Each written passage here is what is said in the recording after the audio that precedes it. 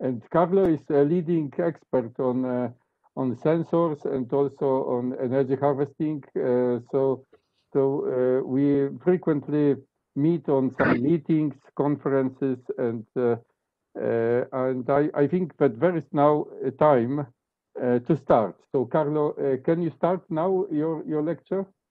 Yeah. Thank you so much, Gregor, for the presentation.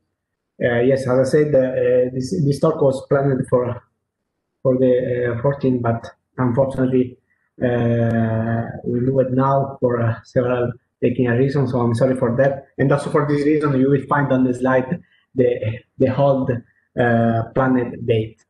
So thank you so much first for this invitation, and for me it's a pleasure to to give this talk. And um, what I would like to say is that uh, I included a lot of material, a lot of result. So more or less, this is a, uh, the result of an activity of uh, about 10 years, more or less. So I tried to to to to do a little bit of uh, synthesis, but more or less is a, a quite uh, uh, long activity of our group here in Catania. So the title of the talk is Smart and Eco-Friendly Sensors and Transducers for Emerging Measurement System. Basically, I will start from uh, silicon-based device. Device means uh, sensor, transducers, and energy harvester in order to create something like several pieces of uh, autonomous measurement system. And then in the last part of the talk, I will present you something uh, uh green.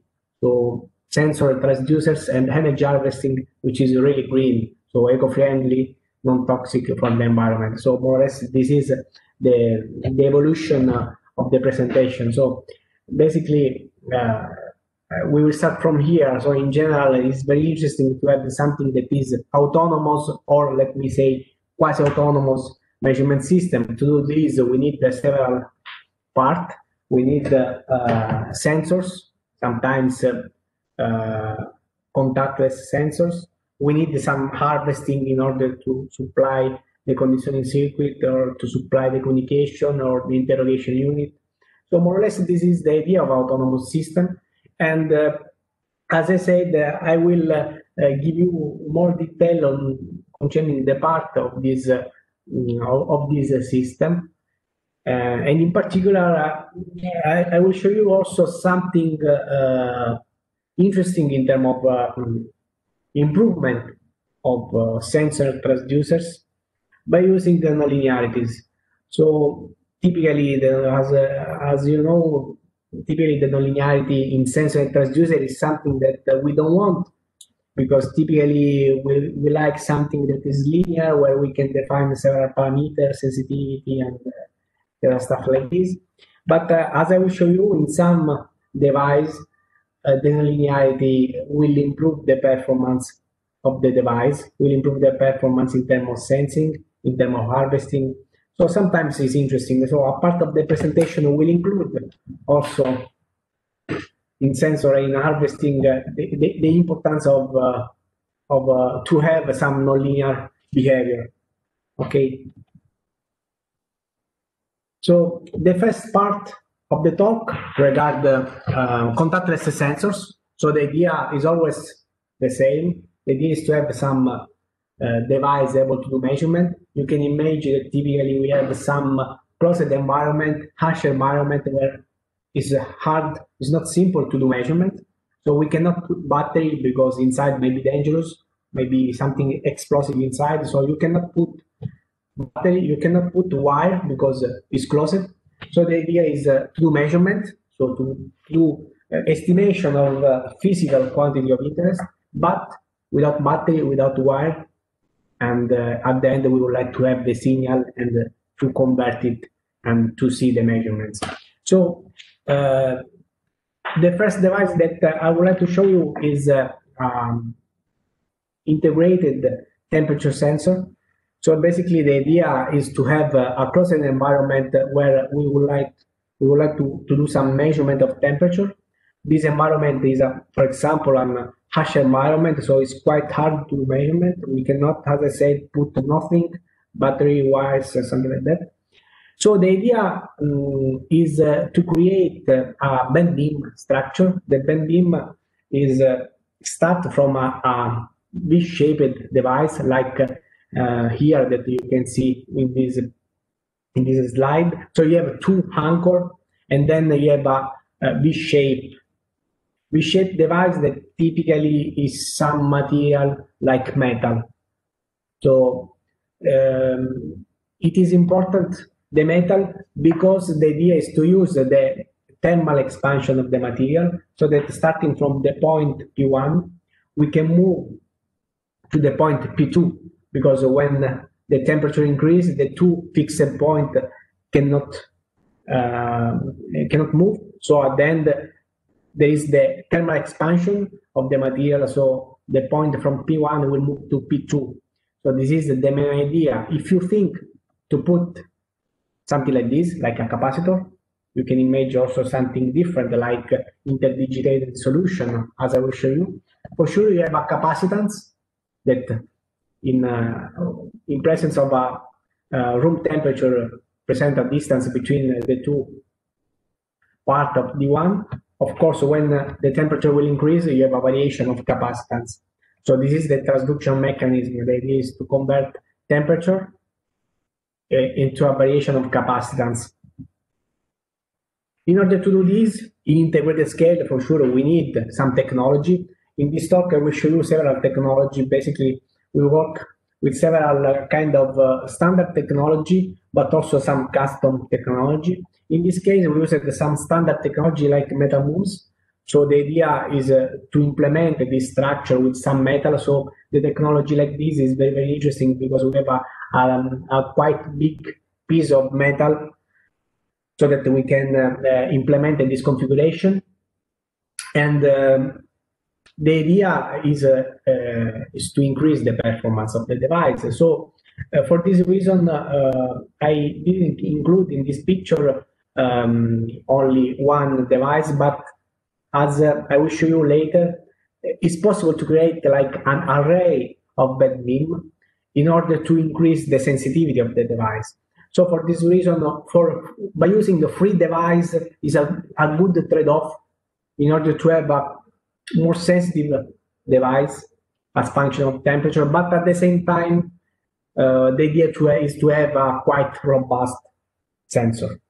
So at the end, uh, this technology offer um, the possibility to include in uh, the devices in one centimeter uh, by one centimeter of silicon. So for this reason, uh, we included the 36 at the end identical cells so that we have uh, 36 uh, capacitor, capacitor in parallel. And of course, there are a lot of simulation and simulation first to demonstrate the principle but at the end, we also fabricated it. And uh, of course, at the end, we used also a package in order to contact the device. This is uh, um, a picture with the uh, with the microscope where you can see the focus of one device. So you can see at the end the the solution that we use is uh, is uh, basically a interdigitated capacitor uh, in order to increase a little bit the variation of capacitance as function of temperature. And uh, at the end, the, the, best, let me say, solution uh, is to use a free bent beam, like an array, in order to increase the sensitivity.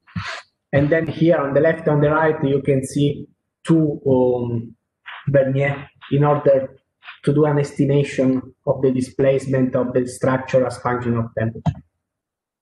This is a the interdigitated capacitor. And here you can see by increasing the temperature of the device, you can see that the system moves for the thermal expansion. So then you have this capacitor which changes as function of temperature. That is exactly the conversion method that we would like to obtain. So basically for uh, the structure, we have also some comparison with the modeling, more or less the order of magnitude is similar.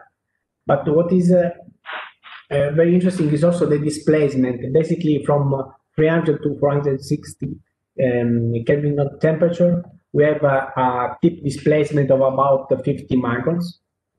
So we have a, really a movement of the device, and then when the temperature decreases, it, the device come back, so the capacitance change.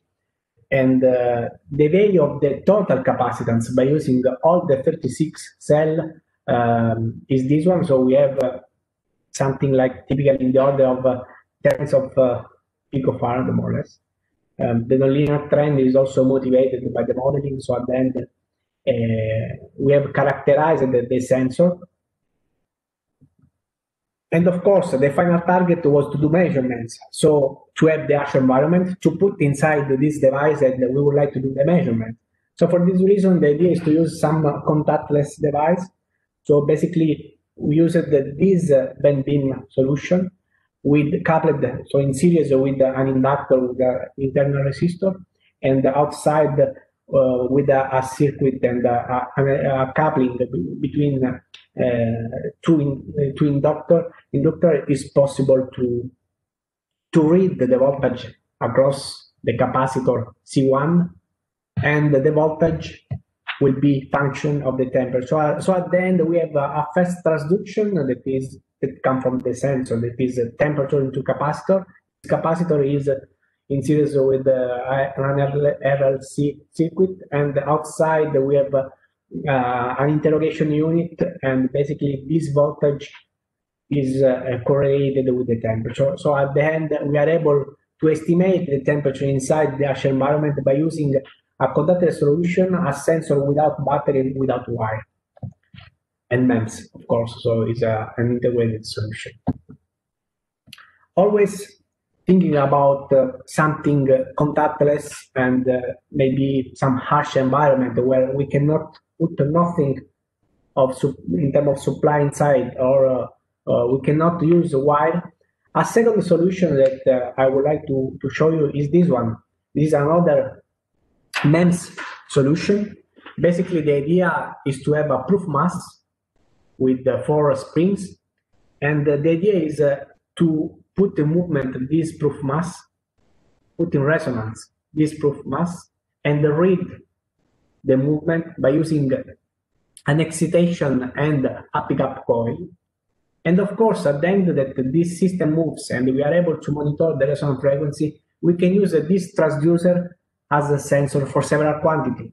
So as I will show you later, if we increase the proof mass, of course, the resonance frequency will change and we are able to measure that. So it is a mass sensor. If you change, for example, if you push this uh, silicon-based system the spring will change. So the resonance frequency will change. And it is, for example, a pressure sensor or a stress sensor. So for sure, uh, after that uh, you implement this configuration, you can use the transducer for several, um, in order to realize several sensors. So the idea is, uh, is based on the eddy current. So we have an excitation coil which generate an eddy current on the plate of a MEMS. Be careful that the MEMS, the plate is uh, something like aluminum, is not magnetic. So you can use uh, also some standard technology because the aluminum in MEMS is very simple to find. The magnetic material is quite hard, or uh, you have to do some processing, some post processing on the MEMS. In this case, you can use some MEMS with a conductive layer so that uh, we can generate the eddy current. This eddy current for sure will uh, generate a, a force. So we can move the proof mass, and typically the idea is to move at the resonance frequency. And with another uh, sinusoid, we are able to generate a magnetic field. So at the end, we have a proof mass which moves at the resonance frequency, and we have a magnetic field which moves with the proof mass. So with the pickup coil, we can monitor with a contactless solution the movement of the proof mass. Of course, there is the modeling, there are a lot of uh, details, but uh, at the end, it is uh, it is able to move, and you are able to detect the movement of the proof mass. This is, as I said, is very interesting because if you think about pressure sensor, stress sensor, and you consider the model, it's very simple, and then the, the stress means that you will alterate, will change the elastic constant so it means that the frequency of the resonance frequency will change and we are able to monitor it. The same if you want to realize with this device some uh, some uh, sensor for proof mass in order to measure the deposit mass on the top. You can imagine also some biological sensor. Of course, without wires and battery, we are able to do the measurement. So this is another passive solution, let me say, as the previous one, um, that can be used to implement various sensors. The technology that uh, in this specific case uh, is not the MetalMUMPs, but uh, used a custom technology developed at the CNM of uh, Barcelona, Spain, Spain. Basically, used a silicon insulator substrate, and uh, on the top we have uh, other materials that we use it also for other devices. So we have polysilicon and metal. Uh, at the end, this is very interesting because uh, we are able to realize a big proof mass with this uh, silicon insulator substrate. A big proof mass means big uh, inertial mass in device in sensors. So you increase typically the sensitivity of the device. So this technology is very interesting, and this is the technology used to implement this uh, principle uh, with the current. So of course we, we have a lot of simulation, FEM simulation that we used before and during the design of the system, then we fabricated. And this is some device that I show you. On the left, uh, some structure that we use it as a, pressure sensor, stress sensor. And uh, on the right, some uh, um, MEMS for uh, in order to do measurement of proof mass of increment of proof mass. You can see that the black part is some um, special glue that we added some special glue controlled in terms of mass that we added in order to characterize the sensor. And uh, for the sensing, of course, the MEMS means that is some device very small. Typically, the proof mass could be also in the order of hundreds of microns. So for sure, uh, we need to use uh, some uh, inductor and some uh, coils, which is quite small. So for this reason, we used some uh, mm, microwire of high permeability in order to focus on the proof mass in order to, to put in resonance and to read the movement. So this wire is a ferromagnetic wire with a very high um, permeability and uh, the diameter is uh, about 100 microns. So we use this setup with a micrometer in order to tune the distance and then we use the device as a, a resonance device. So basically we work at in frequency and uh, First, we monitor the resonance frequency, and after that, we characterize it. We characterize the device as a, a pressure sensor. So the resonance frequency change as function of the pressure, and also as mass sensor. So the frequency also in this case change as function of the deposited mass. And of course, you can imagine this approach, this contact approach with a passive device um, of course, also for other application. Then it is a, a transducer which is uh, uh, able to um, to change the resonance frequency as function of some specific measurement. So in this case, I propose to you two measurements, but you can think about other solutions. The third uh, sensors uh, which I would like to show you is uh, another contactless device in this case, uh, the idea is to use uh, uh, to measure acceleration. Um, in this specific case, I will show you that the nonlinearity in the transduction principle will help us to increase the performance of this device. Because typically you can find a lot of accelerometer uh, with really very low cost price. But typically you have several limitations. And of course, if you need some uh, accelerometer for specific application where you need to measure very, very, very small variation of this proof mass is not simple to find. And for this reason, um, we implemented a new accelerometer by using nonlinearities in order to increase the performance.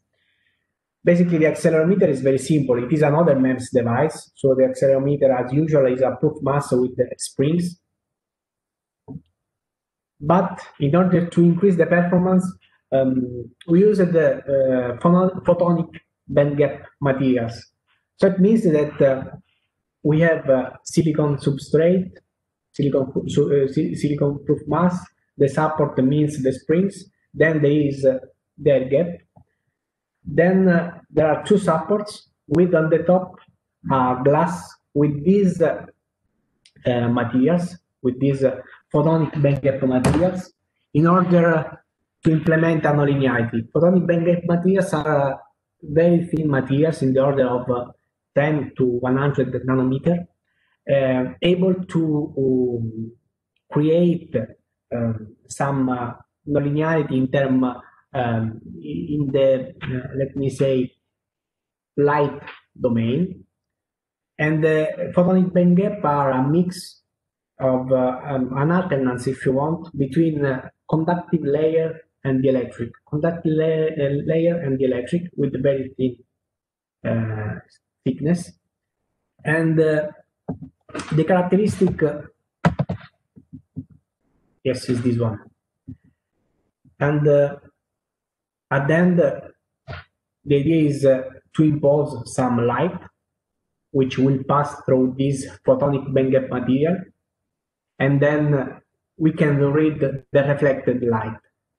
The important point is that uh, as i said the photonic band gap material are able are nonlinear materials, so create uh, some nonlinearity like this. So it's uh, uh, really something uh, that in our case improve the performance in terms of resolution because if you image to have one proof mass with this photonic band gap material on the top and the bottom, with this solution we are able um, to obtain a variation of reflectance. So we have a light and then the reflectance of about 70% in simulation um, by, in, in, correspondence of a, a variation of uh, 15 nanometer. So it is a really, really interesting device because we are able to monitor very small variation of proof mass. Very small variation means that the measurement is really small. So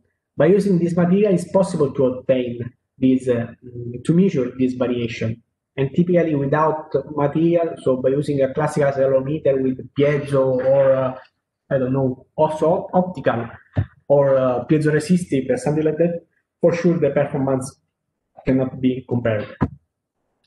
So the device uh, uh, is uh, an integrated device, is a MEMS device with a proof mass of about uh, 1,800 of length so the proof mass is quite big because the idea was uh, to work with a very low frequency um, signal. So the resonant frequency uh, was uh, was quite small, so in the order of hundreds of hertz. So we have a lot of simulations and stuff like that. And this is the fabricated device. So basically we have the proof mass, then the crab leg, crab leg springs in order to have a compact sensor and uh, at the same time a quite long springs.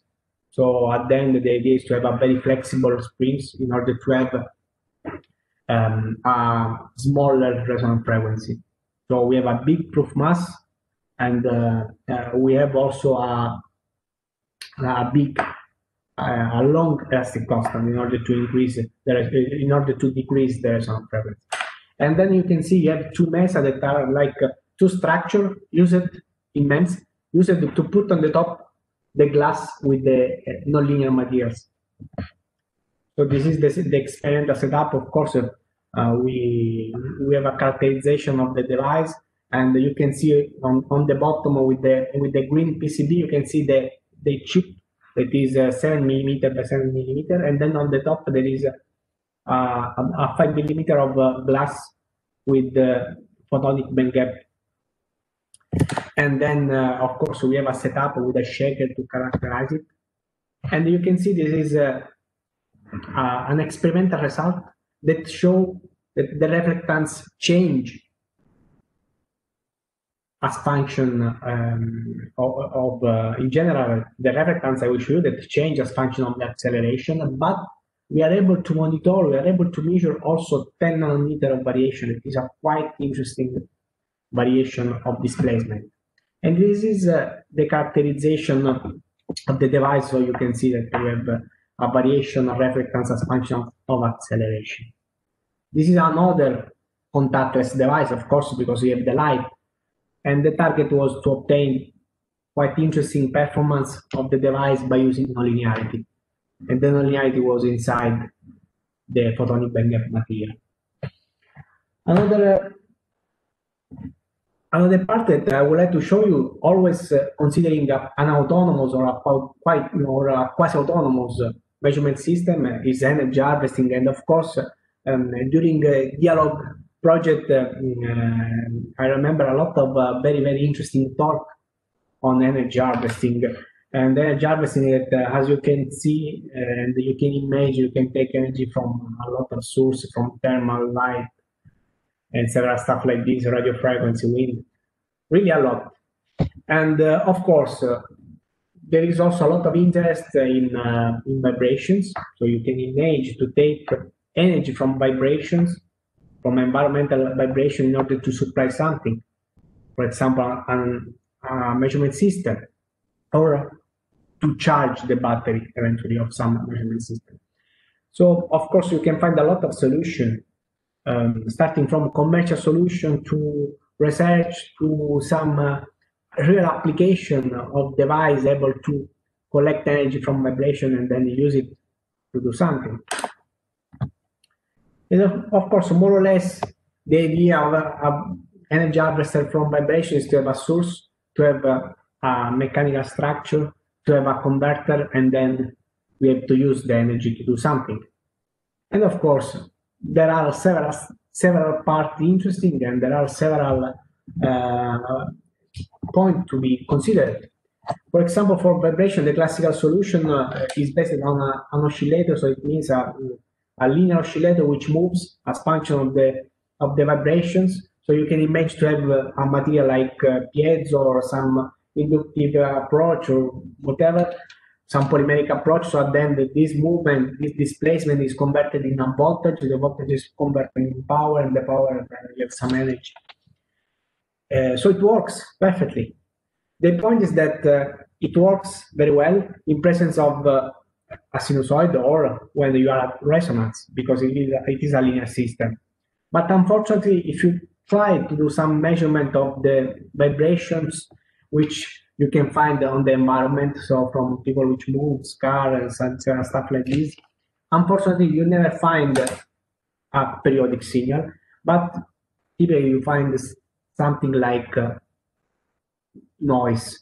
Okay, me say white noise. So you don't have a, a, a, a frequency of resonance. You don't have one spike, but you have noise. So as you can imagine, the linear system is not the best solution because it can collect energy only around the resonance spike. Outside, we lose energy. So solutions, there are a lot of solutions in order uh, to overcome this problem because uh, the perfect, let me say, harvester is to have uh, a wideband response, not a resonant frequency. We don't need to tune it. We would like to have a system which collect all the energy, all the noise Okay, and then of course, typically the response of these devices uh, in the order of hundreds of hertz. If you try to do measurement, you you will see that the, the vibrations are more or less uh, oriented at the low frequency. Okay, so in order to do this, you can think about um, a lot of solutions. Of course, uh, uh the the first solution that the, we can think is to use a lot of device with different resonant frequency, like different proof mass or different geometry or different length, whatever. So you increase the number of devices with, with different resonant frequency. You, so you, at the end you increase the spectrum. You have like a multiple resonance solution. It works, but in this case, uh, we have to use a lot of devices. The idea is that uh, we would like to have uh, one single device able to collect more energy. So for this reason, uh, there are several solutions in literature based on nonlinearity. So also in this case, uh, we start again to think with uh, nonlinearities. So you can think about uh, bistable, multi-stable, pre-stable, why not some chaotic solution? At the end, uh, the point is that uh, with the linear system, you can define a resonance spike. With the linear system, you can think about the transfer function. With the nonlinearity, you cannot speak in terms of resonance frequency because uh, it's not a linear theory. You cannot think about Bode diagram and stuff like this. And typically, the nonlinearity, some nonlinear oscillator present a quite uh, wide band spectrum of response. So this is very interesting for our applications in order to collect energy from the environmental, let me say, noise. Okay. One possible solution is a bistable device. Okay, you have a, lot of modeling, and etc., stuff like this. It is a, a bistable, so means that you don't have a potential energy function like linear system, or but you have like uh, two uh, stable states. So in terms of uh, displacement, you have two stable state and one unstable state. So if you try to compare one linear system and the same with a nonlinearity, for example, by using a magnet with a repulsive force, you have a stable system, you can see that in the time domain, you have two stable state one on the top and one on the bottom, with a bigger displacement compared with the linear one. And in the spectrum, you will see that the, the resonance spike will disappear and the, the response of the device of the stable system mm, increase the bandwidth at low frequency. That is exactly what we would like to have because the noise, the, the external vibrations appear like the pink evolution, appear like uh, a wide band noise. So the nonlinearity is very, very interesting when we want to collect energy from vibrations. Vibrations that are not periodic. So we tried several solutions. Is uh, an activity that we started uh, around 2009, 2010. So we tried with the big device, um, but after that we moved through the investigation of uh, uh, stability and linearity by using some MEMS. So we implemented a silicon insulator technology, more or less is the same technology that we used in order to realize the contactless sensor the second one. And uh, this technology was uh, only to investigate the behavior. We don't have active layer inside like piezo to convert energy. So this technology was used uh, in order to implement a beam very small, like 2 millimeter by 800 micron. But in parallel, we started also with a technology with a, an active layer, like aluminum nitride that is like piezo. So we, we are also able with this other technology to convert vibrations into voltage and power. So we implemented the two stable state by, by using a permanent magnet, and you know, quite quite hard magnet like neodymium magnets.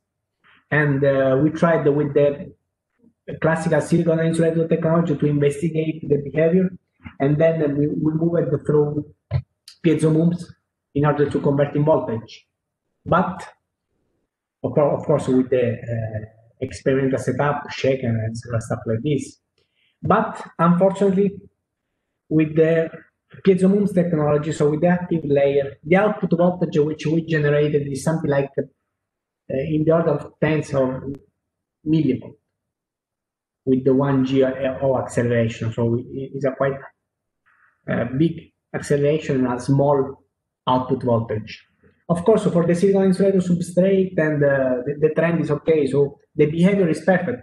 Okay, we have the two stable states, we have the wide band response, but unfortunately, when we use the mm, uh, the layer of the aluminum nitride, the output voltage is small.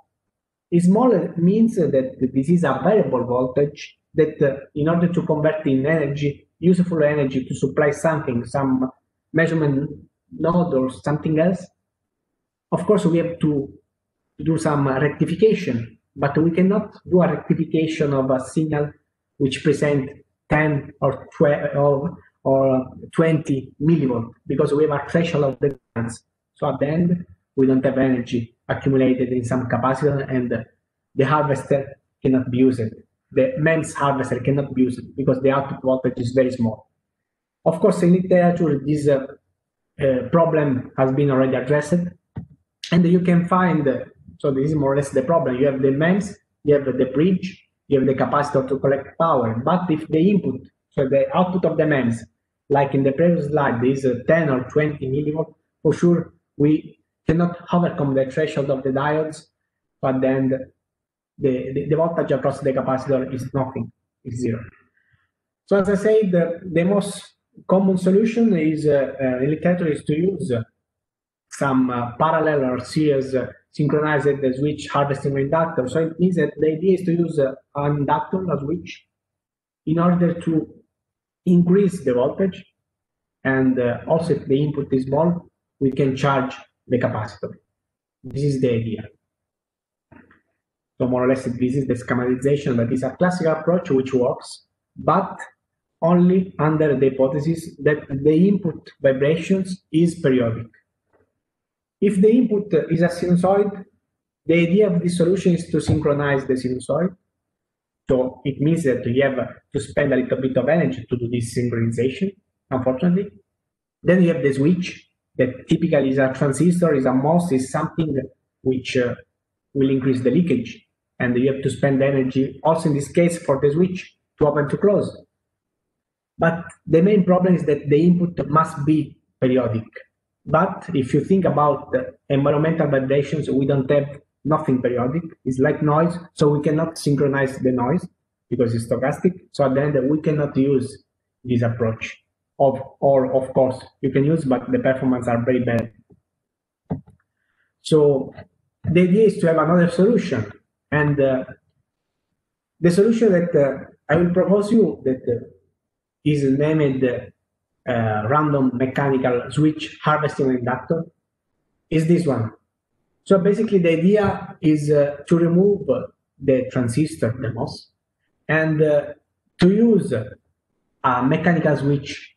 Mechanical switch is a switch with two stopper which moves as function of the external vibration. So also if it's periodic, it moves. And when the beam touch one of the two stoppers on the top on the bottom, the circuit is closed. And when the beam uh, moves, could be open the circuit. So what's happening is that, uh, of course, you can model with uh, like two springs and several stuff like this. But at the end, we have a pattern on that. At the end, you have two conditions, only two conditions. The first one, when this mechanical switch, which is completely passive, so we don't have to spend energy to activate like the other solution, the classical one. So when the switch is closed, the, the current will flow through the inductor.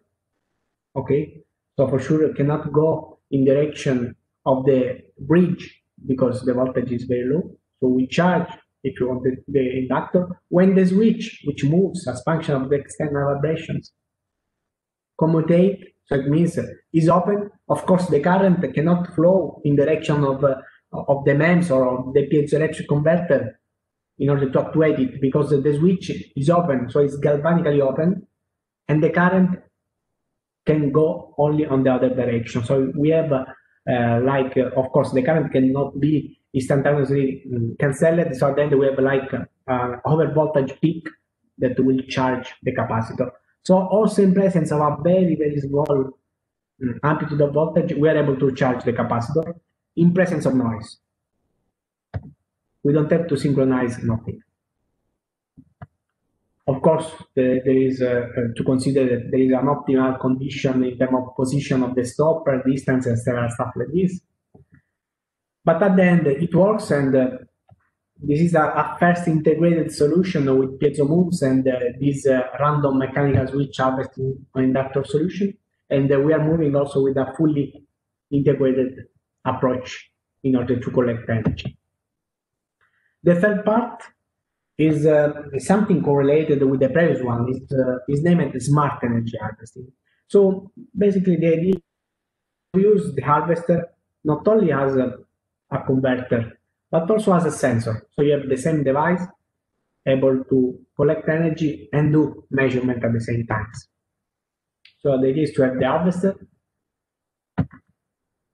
do measurements, and why not to send data with the same device without using battery or without using uh, without lose power. So the idea is uh, to think about something completely passive. So we have only vibrations, only ambient vibrations. We want to collect these vibrations and, for example, measure the level of vibration. This is something interesting for several applications, like electrical application where you have a lot of uh, vibrations, 50 hertz, and uh, at the same time you need to understand if the level is uh, quite high, so maybe there is some screw that is not well fixed, or in some electrical machine. So you have a lot of vibrations, but at the same time you have to monitor the level of vibrations. So we are here in the schematic. So it means that uh, we have always the, the, the, vibration source. So we have the, the coupling, the mechanical transducer, then the converter. And uh, the idea is uh, in the management circuit, the idea is uh, to, to save energy in a capacitor and at the same time to transmit the data in terms of uh, input vibration source. So the idea is very simple. Of course, in this specific case, the idea is to overcome the threshold of the diode. So it means that you have four diodes, for example, if you have a full bridge, one diode can be like like a light emitter diode. Then you have a classical topology of uh, a very simple converter and a circuit to to rectify and save the the power. And uh, the idea is uh, to collect energy that is very simple because it is a classical solution from with the piezo, but at the same time, as I will show you, as function of the input vibrations, the light emitter diode will change the, the emission of light. And it is possible to correlate this emission with the input source. So with the classical topology, we are also able to take information in terms of vibrations and transmit data because it is a, with an optical transmission like optical fiber is possible to transmit data. So this is the idea. Of course, you can think about modeling, simulation, several stuff like this. And also with a classical characterization with the shaker, then in this specific case, we use the, not a MEMS, but, but a quite big transducer, but we are also thinking and moving to a MEMS solution. And you can uh, you can see that uh, when the acceleration level is quite high, uh, we have enough voltage generated with the piezo. So we start to collect energy inside the capacitor. And at the same time, the optical receiver, yeah, there is a zoom, will start the transmission. This transmission can be correlated with the measurement. So the acceleration is the input source for the harvester to collect energy. And the acceleration is also the measurement in order to uh, to do measurement and we are able with the beam value of pulse direction, we are able to monitor the input source. So for this reason, it's named as smart energy harvester because it's not only an harvester but also a sensor. And uh, you can see we charge the capacitor and at the same time we send information about the input source. Of course, also in frequency we have, uh, in this case, a linear uh, solution, so we have a spike of resonance, but we are also moving to some nonlinearity so the idea is to work in presence of noise. And uh, we started to try also some uh, solution with a stopper in order to implement like uh, a barrier. So it's a, a nonlinear potential and uh, try in presence of uh, noisy vibrations, try to collect energy and do measurement. And we have demonstrated with a preliminary test that uh, the nonlinearity also in this case is quite interesting to be used in presence of uh, vibrations uh, and environmental vibrations. The fourth part uh, is uh, something that is correlated with the previous part, obviously, because uh, if we think about nonlinear system, nonlinear energy harvester, or nonlinear transducer, if you want, the solution that I proposed you before was uh, a beam with a, um, at the tip a permanent magnet and in front another permanent magnet. So we have a bistable system. And of course, you can think about modeling uh, stuff like this. The question is, what's happened if I add a second beam? So I remove the magnet in front and I use another beam close to the first one with the same system. So with the at the tip, the permanent magnet. With a good distance, there is of course a, tune, mm, uh, a tuning operation, and then you have a two stable system. And if the first beam is on the top, the second is on the bottom, and stuff like this. So we have two stable systems. Of course, you can think also about several systems like a piano. So if uh, you push or if you move the first one, automatically all the beam will move because there is a magnetic coupling. You can think about modeling, and uh, of course, you have like a piano of coupled nonlinear oscillator.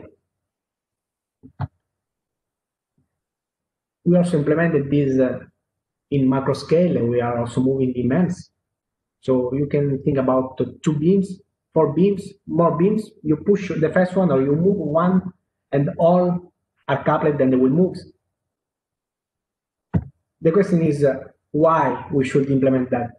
Okay, maybe that is uh, uh, we have a coupling, we have magnetic coupling, but why we should use it? Why it could be interesting? And there are a lot of applications for that because uh, basically you have a, a, magnetic coupling and you have to consider that from a spatial, uh, spatial point of view, you have uh, like uh, 100 degree of uh, phase shift between beams. So the first application uh, is to implement some multiplier, voltage multiplier without diodes. So basically we are here, we are at the end of this structure. We are just before the useful energy. Sometimes uh, after um, the converter, after the charge inside the capacitor, you have to increase the voltage. You need some, for example, amplification of the signal for several application. The problem is that if you if you do some amplification, means that you have to use some operation amplifier, you have to use some circuit, you have to put energy. So you collect energy and then you use it to amplify. So at the end you lose. So the idea is to have something which is able to, to do some uh, multiplication of the voltage without spend energy.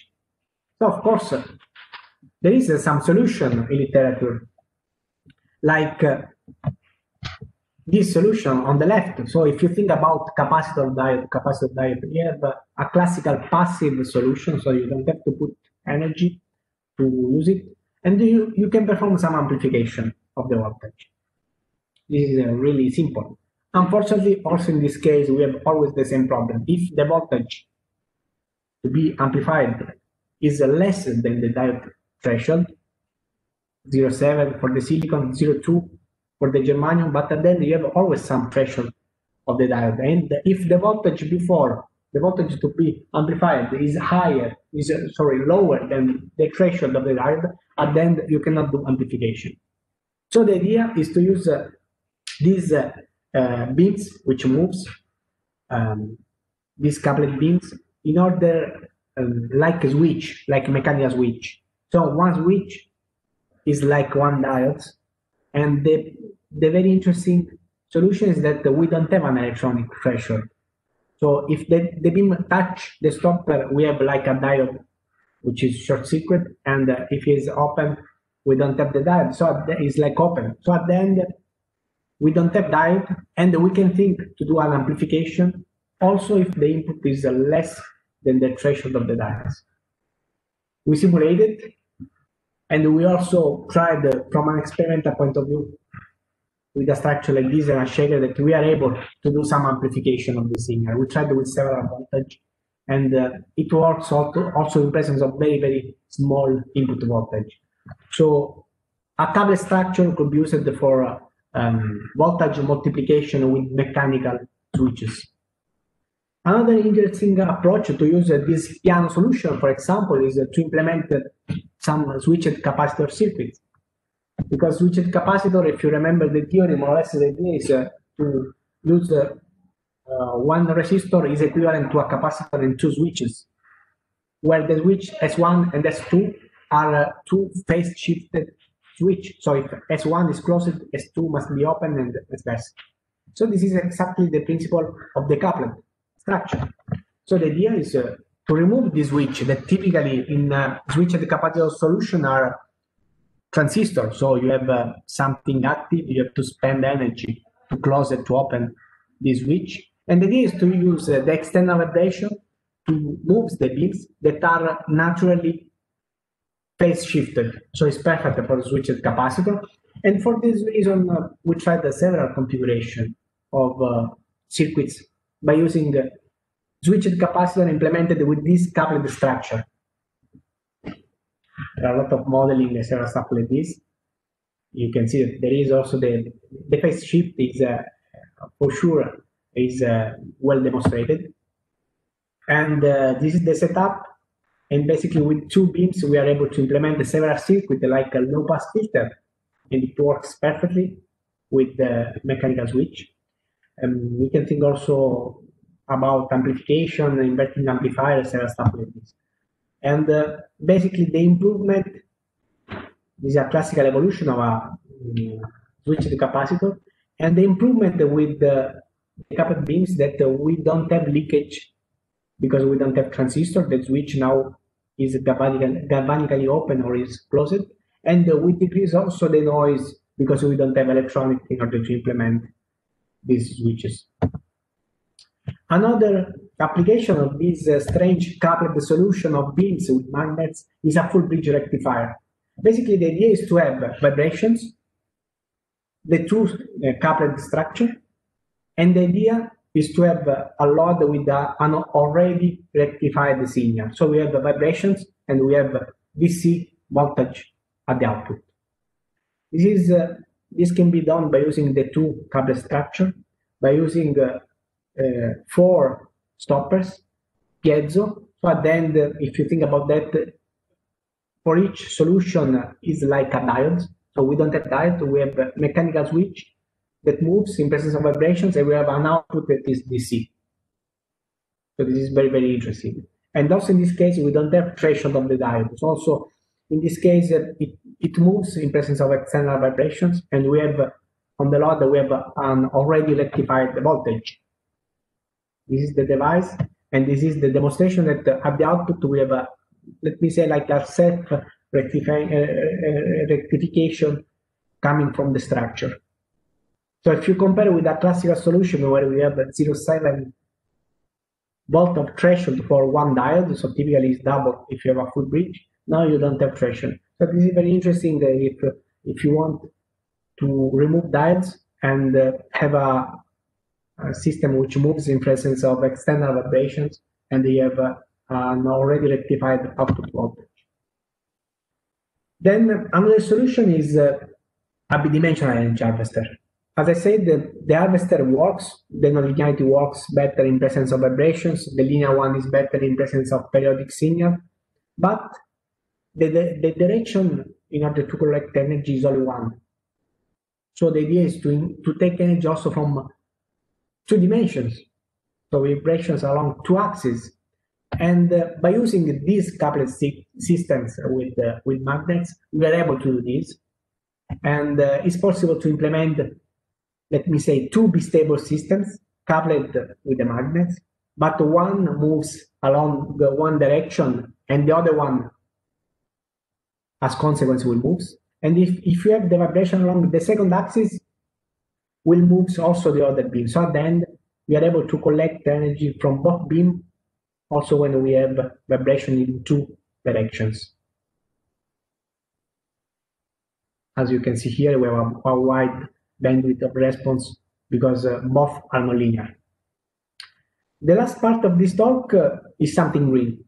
So as you can imagine now, the, the, the European uh, community uh, push a lot Uh, to have uh, greener and greener solution, uh, sensor transducer harvesting, green in terms also of a device. So the idea is to have some sensor, some transducer, some energy harvester from operations that uh, I can disseminate.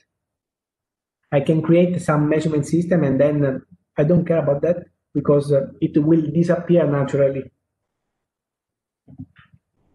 So of course there is a lot of interest to measurement, so I don't want to spend too much time on that. But all the solutions are based on silicon and uh, for sure not green solution. Mm, you have a lot of solution based on polymeric composite, but unfortunately the polymers are not really green. One possible solution to implement a sensor transducer and energy harvester could be cellulose. But the cellulose is green like material because it's biodegradable, but um, we have to uh, spend a lot of energy and water to clean it. So the material is green, but let me say the production step is not really green. the other solution, that is what I will show you, is bacterial cellulose. So it's a kind of cellulose uh, produced by bacteria. So we don't have to clean, we don't have to spend water to clean it. That for sure is uh, much, much more greener than the cellulose. And the idea is to use this bacterial cellulose to realize sensor and transducers also for energy harvesting. So this is uh, something uh, um, of uh, several months ago. But if you try to check on Scopus the interest of cellulose and bacterial cellulose as sensor and motion sensors, for sure, for the bacterial cellulose, you have a FabWorks. Okay, now more than three. We have published a lot on that. And uh, is really new as uh, materials to realize motion sensor and motion transducers. Okay, as material is well known, but not for this device. So basically the production process is very simple. Uh, here is a synthesis, but at the end, uh, by using uh, non-toxic bacteria, you will create this material. It appears like uh, a gel, then it's dried, and uh, you have like a paper that is not a classical paper that come from the classical cellulose, but come from the bacteria. And then we, the black part is the contact that we used. That uh, at the moment we, we used the um, a PEDOT layer in order to contact the bacterial cellulose. Inside we put some ionic liquids. We have also green ionic liquids in order to create the transduction between displacement and output voltage. So basically, you have this paper, you move it, and you have an output voltage and the system, of course, is a really low cost, really simple to realize, and uh, you can uh, disseminate because it's eco-friendly and non-toxic for sure for, for the environment. So it, it, it, from a from a intrinsic point of view, it appears like uh, like this, like in the in this picture, where inside we have included the ionic liquids. Okay, we have a setup in order to characterize this material from several point of view. Basically, from sensor, point of view and also has a vibration energy harvester, green energy harvester. So this is the device. We have some laser in order to monitor also the displacement. And uh, this is the output voltage and the tip displacement. So of course, the output voltage is not so high. So it means that for um, a tip displacement of about one centimeter, one centimeter and half, we have an output voltage of uh, about two millivolt. So it's not so high, but the cost is really nothing. So the, the output uh, is well motivated considering the cost, considering the biodegradability of the material, and considering that by using the random mechanical switch harvester inductor topology, we are able to collect energy also from signal of 2 milliwatt and noise. So it's not a problem. We characterize uh, the bacterial cellulose as deformation sensor.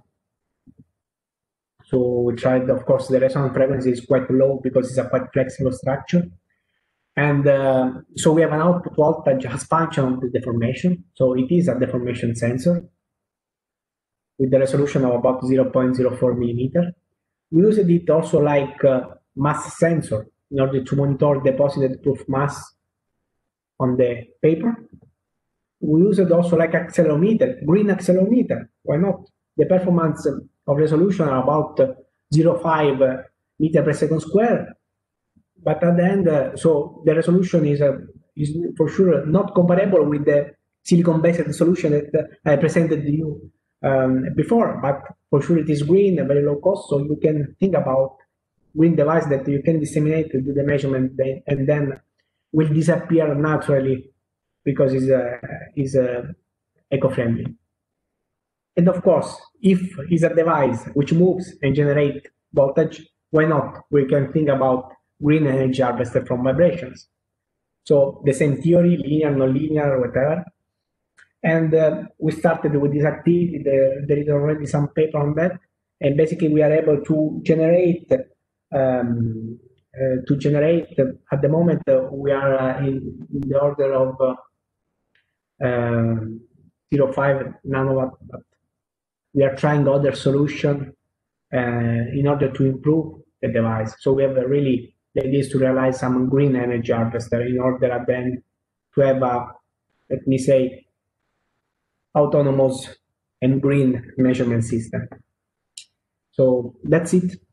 And uh, if you have uh, some questions, just feel free to ask me or to send me an email, and for sure I will give you all the material that you need. Okay, Carlo, uh, thank you very much for this very interesting uh,